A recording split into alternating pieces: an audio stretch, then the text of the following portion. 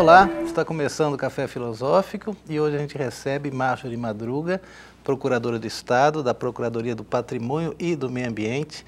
Bem-vinda, Marjorie. Muito obrigada, Federico. Prazer é meu de estar eu, aqui. Eu te agradeço a, a presença e lembro que, que a gente estava comentando agora que a, nossos encontros no café são do começo do século, vamos dizer assim, né? É, Na época, acho que ano 2000, 2001, né? Isso, as primeiras edições do café você frequentava bastante Sim, também. frequentava bastante. Sempre gostei dessa área filosófica, embora não me sinta entendida, mas sempre gostei. E dos encontros literários que também tinham lá, né? Tinha também, um sarau. É, os saraus poéticos e as discussões de literatura, que também é outra paixão minha. Então eu sempre estava ali, né? se ela faz falta. É, ela fechou já faz um tempo, né? É, faz muita falta. Mas a ideia é conversar um pouco sobre a tua atuação e, de alguma maneira, é, evidenciar, assim, os conceitos ou os, os, problemas mais teóricos que você se enfrenta. É, eu tenho entendido que você vê essa proteção, digamos assim, do meio ambiente não só a partir de, da, da, lei, simplesmente, do direito ambiental, mas parece que você vê como necessário recuperar ou fomentar reflexões de outros campos do saber. Né? Sim, com Se certeza. Se pudesse desenvolver um pouquinho como é que é isso? Com certeza. Na verdade, eu até estava te falando também antes, né? Assim, que foi o direito ambiental que, na verdade, me salvou do direito, assim, eu me apaixonei por ele, principalmente por esse caráter de multidisciplinariedade, né? Por essa imprescindibilidade de, do direito ambiental se comunicar com tantas outras ciências, porque ele não se basta para dar uma resposta. Você estudou é, direito, fez mestrado também? É, fiz mestrado na PUC, mas uhum. em processo civil, mas isso... Uhum. Ah, ainda... Você tocou um problema, que é o direito ambiental te salvou, né? de certa forma, aquela outra área do processo civil era uma coisa mais árida para você. Muito árida, né? né? E uma visão muito privatista né, das coisas, né? Eu, aí eu venho para o direito público, quando entro na Procuradoria, em 1997, e aí, quando fui para a área ambiental, é que eu passei realmente a me encontrar, porque justamente devido a esse diálogo que ele tem com tantas outras ciências, com a filosofia, com a questão ética, né, com tantos princípios do humanismo que para mim são muito essenciais assim.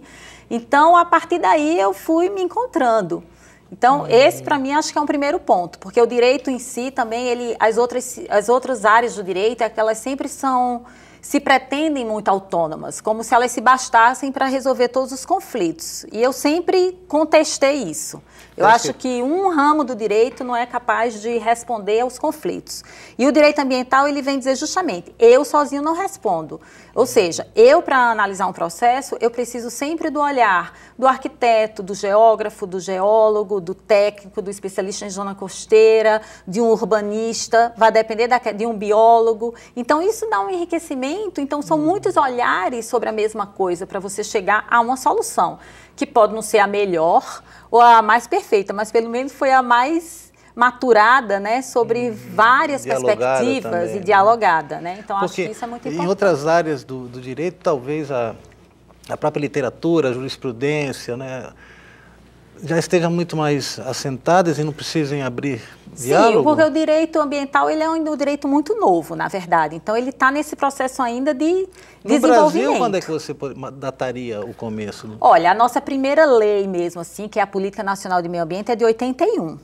Mas daí ele depois dá um salto, quando a Constituição de 88 trouxe o direito ambiental para dentro, a preservação do meio ambiente como um princípio e um dever do poder público e da coletividade, então houve a constitucionalização do direito ambiental. Então ele dá, ele sobe de nível, né? Ele passa para estar tá no ápice da legislação, né? Então ele entra também, na Constituição. Também não existiam procuradorias específicas para o meio ambiente? Não, não, não existia. Isso aí foi depois. A nossa mesmo foi é, na gestão do Dr. Nivaldo Brum, que é meu colega, que criou a Procuradoria da Defesa Ambiental em 2002. Então é uma coisa muito nova. Foi quando eu fui para lá e então desde o início eu estou nos, nos, estamos nos construindo conjuntamente, né? Uhum. A Procuradoria do Meio Ambiente e eu também nessa área. Mas então, eu acho que o meio ambiente, você estava falando dessa questão que vai além do, da, lei, da lei né? É, o é, com muito cuidado, não é dizendo que é contra a lei ou não, diferente é além, lei. É além, né? né? É além porque, na verdade, quando a gente pensa primeiro em meio ambiente, acho que a gente primeiro tem que pensar que a gente está falando de espaço, da convivência do homem com o espaço seja esse espaço natural ou urbano. E da relação dos homens entre si ou dos seres vivos entre si. E aí, assim, engloba todos os seres vivos, não é verdade? Essa é uma primeira, eu acho que é uma primeira percepção que a gente tem que ter. E depois aí a gente vai para o direito ambiental como um regulador dos riscos ambientais, né? E, e na verdade, do direito à própria vida, porque quando a gente está falando de relações e da relação do homem com o meio e da relação de como o homem vai usar os recursos naturais e, e vai explorar aquele meio ambiente, a gente está falando da própria vida e da relação entre os seres vivos. Então, na verdade, o direito ambiental é, acima de tudo, um direito à vida. É isso que ele regula, eu acho. É isso que ele tenta proteger. Daí porque ele se permite interferir em tantas outras áreas, seja no, no terreno do urbanismo, seja no terreno da saúde, da ordem econômica, inclusive a própria Constituição diz que a ordem econômica ela tem que respeitar a preservação do meio ambiente embora isso seja muito pouco utilizado na prática no Brasil, mas está lá na Constituição, no artigo 170 da Constituição. Ou seja, ele vai norteando todas as outras áreas. Por quê? Porque ele está defendendo essencialmente a vida e a qualidade da vida das pessoas. É isso que ele faz acima de qualquer coisa. Eu acho que esse é o olhar. Né? E agora com essa discussão do antropoceno, uhum. que o antropoceno vem justamente numa visão que olhou para o meio ambiente enquanto recurso, ele desintegra o homem, né? Essa visão neoliberal que vem do colonialismo e do racionalismo, ele separa a natureza do homem e coloca o homem como um ser superior à natureza. E, portanto, eu posso usar essa natureza como eu quiser e explorá-la, uhum. porque ela é uma coisa. Ela não é um ser vivo. Eu, eu entendo e me lembra assim uma coisa que a Hannah Arendt fala na, na condição humana, que é esse fenômeno moderno, que caracteriza a modernidade como alienação do mundo. Né? E ela disse que o mais importante evento desse, que simboliza hum. isso é o telescópio de Galileu. Porque ele joga, eh, troca a perspectiva habitual do homem e coloca o homem a ver a Terra desde o ponto de vista do universo. E com isso se cria uma grande distância entre o homem e a, sua, e a, a própria natureza, ou na terra na qual ele habita. Exatamente. Esse distanciamento que você marcou agora bem, né, eu acho que é o grande problema que a gente entende com toda a fúria do capitalismo, essa agroindústria, essa relação, vamos dizer assim, mercantilista com todas as coisas, por né? exemplo, exato. Exatamente. Então essa é a era do antropoceno. E aí dentro dessa visão que hoje a, já existe um movimento que contesta isso e que começa a surgir uma outra forma de você pensar a natureza e Mas pensar o meio ambiente. Vamos definir antropoceno ah. primeiro, porque Há pouco tempo, esse conceito foi tomado pelas ciências é, da Terra ou da geologia como um, um marco, ou seja, está, vivemos agora, tem uma datação mais ou menos, a partir dos anos 50, no Antropoceno. Saímos do Holoceno e vamos para o Antropoceno. E que significa Antropoceno? E a perspectiva que você aponta como já uma saída muito rápida desse processo. É, eu, eu, na minha visão, o antropoceno está totalmente ligado a essa mercantilização do meio ambiente, né? a essa, ao desenvolvimento enquanto um conceito muito restritivo de crescimento econômico a qualquer custo. Né? Então, isso é o que permeia o antropoceno, na minha visão. Uhum. Hoje, o que aconteceu? Tá? A gente fala em constitucionalismo ecocêntrico, né? ou cosmocêntrico, como se diz, que vem. O, eh, esse primeiro movimento começa um pouco já na, no, na Costa Rica, na década de 70, que foi o primeiro país da América Latina que colocou o meio ambiente e, e protegeu suas áreas. Já naquela época, 25% do país foi protegido com parques nacionais, fora as zonas costeiras. Né? Depois, o Brasil, que incorpora a questão ambiental na Constituição. E aí, no, isso dos anos 80, depois agora, nos anos 2000, 2008, houve a Revolução Cidadã no Equador. E aí eles trouxeram para a Constituição do Equador, que foi a primeira Constituição do mundo, que incorporou os direitos da natureza. Ou seja, a natureza não é mais uma coisa que eu posso explorar economicamente. A natureza uhum. tem direitos. E essa visão, ela passa a inserir o homem dentro da natureza. Eu sou parte da natureza, eu não sou mais uma coisa distante ou fora da natureza. Ela reúne o homem à natureza. Então, é uma nova visão. E a América Latina, ela se destacou nisso, porque depois a Bolívia, em 2009, também incorporou esses conceitos, é, você... que é o conceito do bem viver. Hum. Que vem dos indígenas andinos, Isso, amazônicos. Esse ponto que, que é, é tocar, que você coloca aqui, os povos andinos, ou até indígenas, mantêm uma relação com a natureza que não é a nossa, não, uhum. não faz parte do nosso legado, embora eles tenham sido vítimas disso também, e que eles podem servir de certo uma referência para questões para que nós mesmos nos descobramos, afinal de contas. Isso, então. mas a ponto. Constituição do Equador é a única do mundo que traz isso. Ele incorporou essa filosofia. É como se os rios fossem pessoas, entes, isso. vamos dizer assim. E né? agora, veja só, isso foi em 2008 que a Constituição do Equador incorporou. Agora, o mês passado, esse mês, é, esse mês, ou foi o mês passado, a Nova Zelândia, pela primeira vez na história, hum, você sabe disso? Reconheceu um rio, isso. que é o terceiro maior rio do país, que é uma luta que já vem desde 1800 e tanto pelos índios, Maori, reconheceu como ser vivo, reconheceu o direito do rio, da personalidade jurídica ao rio. Ou seja, reconheceu o rio como um ser vivo, com direitos, tal como eu, ser humano. Então, essa foi um passo, assim, revolucionário. Primeira vez no mundo que isso é reconhecido por um tribunal superior, né? E ainda entrega milhões de dólares para o Rio, para as comunidades indígenas poderem salvar o Rio. E as custas processuais também, desse processo que se arrastou há anos, também reverterem em favor dessas tribos. Então, na verdade, essa decisão ela vem totalmente de acordo com esse princípio do bem viver, que foi abraçado pela Constituição é, do Equador e da Bolívia, uhum. né? do direito da natureza. Não, é, muito é legal, uma visão totalmente essa, diferenciada, essa né? Agora, insistindo é ainda... É meio utópico. Talvez, né? No mundo que a gente Mas... vive hoje, principalmente quando a gente vê esse processo de retrocesso ambiental no Brasil, violentíssimo. Ah, eu queria vou né? tocar esse ponto. Mas, assim, pensando que, ainda sobre o antropoceno, porque ele coloca uma coisa assim, muito, assim, o que marca o antropoceno é o capitalismo, mas, sobretudo, se ia pensar o antropoceno como uma era da Terra, uma era geológica marcada pela ação humana. Mas, ao mesmo tempo, isso mostra que a gente está, certo, na face um dilema que seria pensar o que pode nosso conhecimento sobre isso.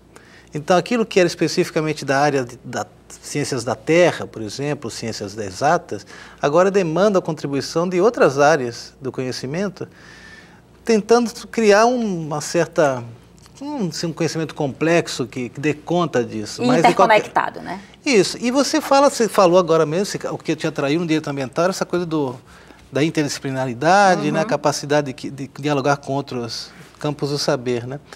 Então, nessa perspectiva, realmente há também no antropoceno algo que pode ser decisivo para o futuro, né? no sentido de que o conhecimento volte a ter aquela unidade que se perde. Né? Sim, com certeza, é verdade. Eu acho que, na verdade, as coisas se complementam, né?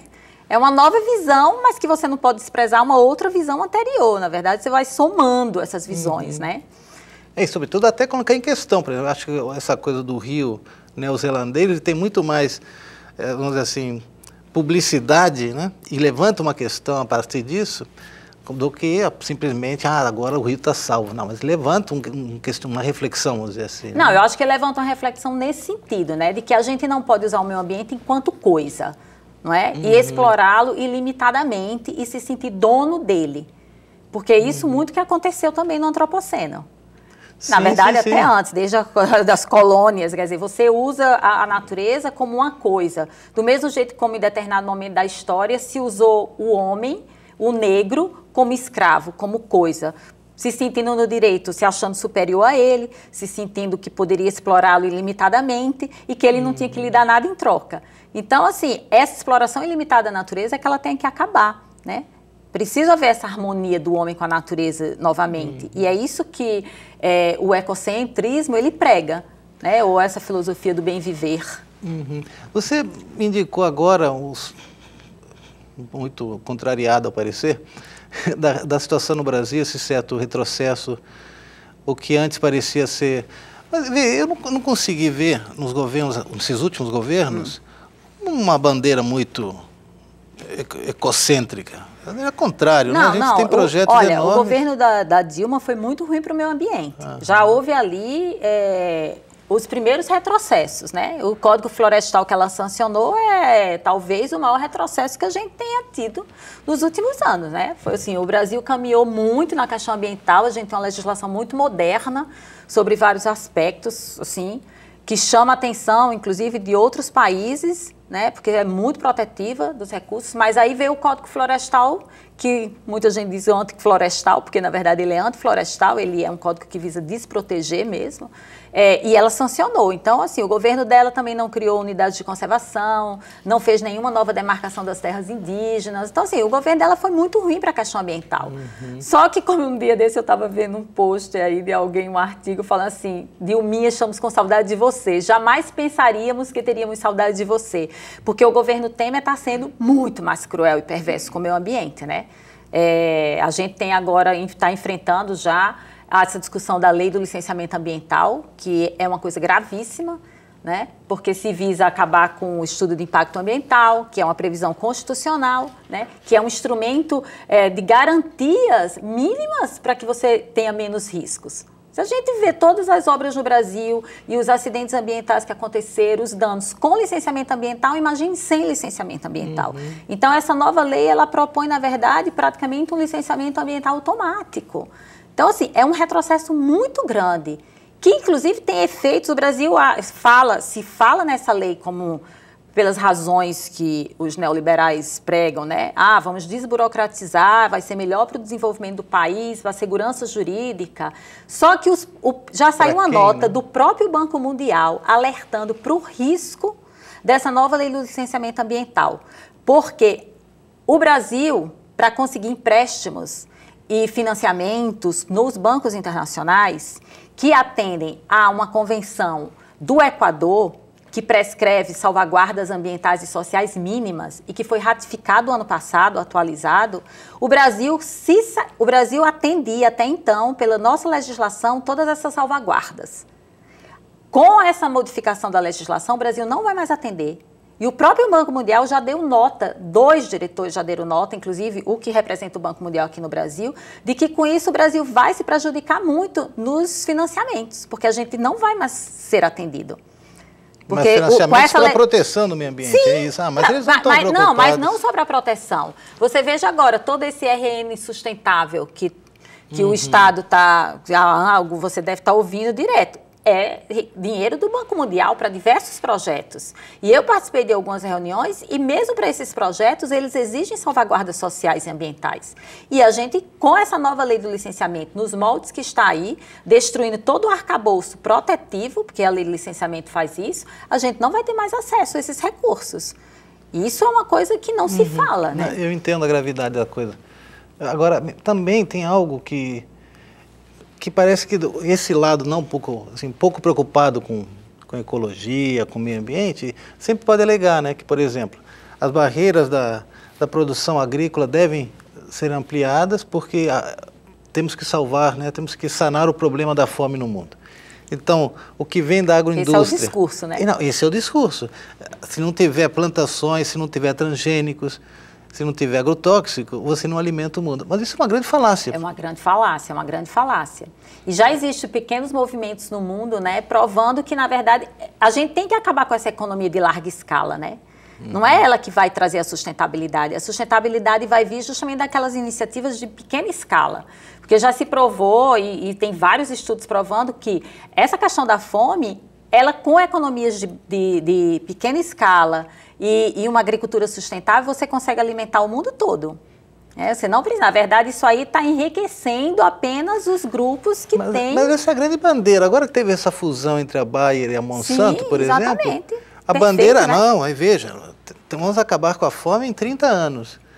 Mas é, o que a gente vê, na verdade, é só uma fusão capitalista, né? Totalmente, não há um interesse totalmente. filantrópico aí por trás, né? Exatamente. Por outro lado, as outra coisa que também me parece estranha, né, que é, é, por exemplo, Belo Monte, que também tem essa experiência de devastação do meio ambiente, de afastamento das populações locais, né? Mas não só isso. Aí, por exemplo, eu tenho que lembro sempre e falo muito sobre São Miguel do Gostoso, hum. que tem lá uma, uma usina eólica enorme que não emprega propriamente as pessoas do local. Esse é outro problema muito sério, então, né? Isso da energia também é uma bandeira que eles é. alegam para devastar o meio ambiente. É, você prega uma energia limpa quando, na verdade, é, a energia em si é limpa, mas hum. o processo de instalação dos parques eólicos não tem nada de limpo, é extremamente degradador, é, é extremamente danoso à vida social das comunidades ah, do entorno. Isso a gente percebe mesmo. Certo? E, na verdade, é, isso não vem à tona, é incrível. A gente tentou discutir muito isso no Estado, né? Não sei se você acompanhou aquela discussão de Galinhos, que foi a primeira comunidade aqui no Estado que se insurgiu contra a instalação dos parques eólicos, né? Porque eles vêm e, e o Estado é, permitiu sem um planejamento. Porque esse é um outro problema. Se fala muito de segurança jurídica e na questão da economia, mas os investidores ou os empresários, eles não cobram do Estado aqueles instrumentos de ordenação e de segurança jurídica. Que seria, por exemplo, os, plane... os planos estratégicos, setoriais e gerais, o zoneamento ecológico econômico, porque você mapeia as áreas onde você vai poder estudar, né? Na Europa, a questão da eólica, você tem o zoneamento ecológico econômico e quando você vai jogar o mapa eólico e levar em consideração todas as variantes ambientais e sociais, e a compatibilização com outras atividades econômicas, aquela área que era da, do potencial eólico, ela fazia isso. Então, não existe interesse de você ter esses instrumentos. A gente aqui no estado, a gente só tem o ZEE, que é o Zoneamento Ecológico Econômico, do litoral oriental. Do litoral setentrional não foi feito até hoje, que é justamente onde a gente tem as maiores eh, atividades econômicas e danosas ao meio ambiente, que é o petróleo, carnicultura, salina, turismo e agora as eólicas, uhum. né? Então, assim, não existe um ordenamento. Tudo é feito sem um planejamento prévio. No caso de Galinhas, eles aprovaram uma lei municipal que... Não, eles, não. a comunidade, não. quando soube, se insurgiu. Né? Nós tentamos relocar, foi quando eu entrei no processo para tentar negociar, para fazer uma relocação da área, porque existia área para eles relocarem, mas aí, lamentavelmente, o processo saiu de mim e as forças políticas foram maiores, como quase sempre. Né? Então, assim, mas eu acho que essa questão da eólica ela é muito séria. Ela é necessária, ela é. Claro, a gente não discute isso. Né? Uhum. A gente precisa ter uma segurança é, energética, precisa ter uma matriz diversificada, mas a gente precisa ter critérios de instalação. Você não pode comprometer as atividades das comunidades, a vida social dessas comunidades, em troca de uma energia limpa. Né? Uhum. Não é possível não, isso. Tem uma coisa também de dizer assim, de pensar que ah, você, por exemplo, no caso de Galinhos, não, sei, mas em Gostoso isso é muito patente, que você vai a uma praia que antes que era um lugar muito deserto e você tem lá um, sei lá, pois a é, perder você... de vista. E parece que como se a paisagem não fosse algo tão essencial, por exemplo, ao bem viver do qual Sim, você fala, mas né? a paisagem é, não é? Pois é, ela faz parte acho. do seu imaginário, ela faz parte da sua qualidade de vida, não é? Exato, mas eh, isso não é considerado, por não, exemplo, por conta é desse povo, né? Isso não é considerado. É como se fossem coisas menores. Embora a lei diga que você tem que considerar o impacto cênico, o impacto na paisagem, que a paisagem também é um patrimônio cultural. Certamente. Né? Mas infelizmente aí a Aqui gente. Aqui teve um caso, não sei se você que estava à frente agora, de que construiu duas torres né, junto ao Morro do Careca.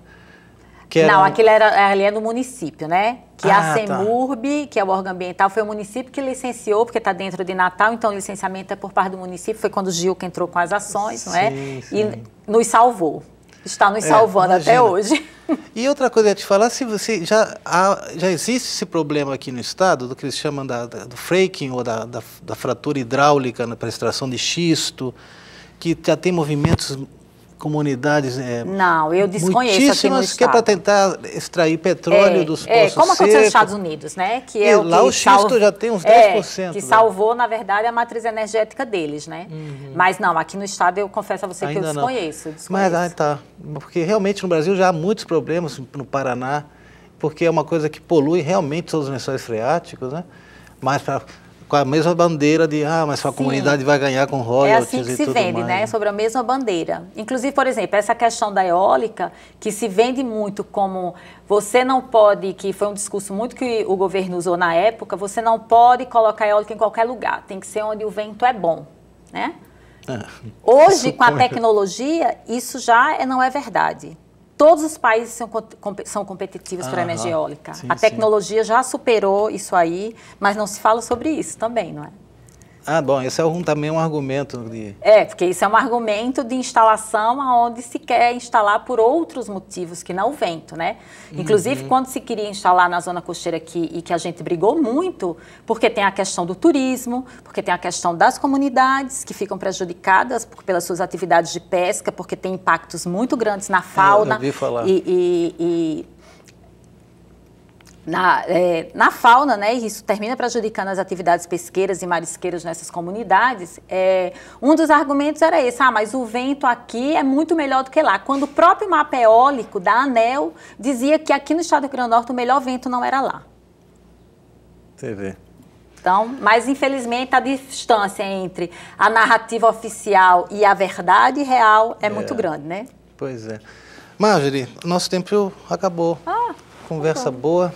Pois Obrigado tá. por você ter eu vindo esclarecido muito, tantas coisas. Federico, foi muito bom. Eu que agradeço em nome da Procuradoria e do Estado. Imagina, você volta em breve, espero. Tá bom, agradeço. Tá bom? Estou às ordens. Então tá, eu falei aqui com a Procuradora do Estado e Meio Ambiente, Marjorie Madruga, a quem a gente agradece mais uma vez. E você que está em casa já sabe que semana que vem tem mais. Até lá.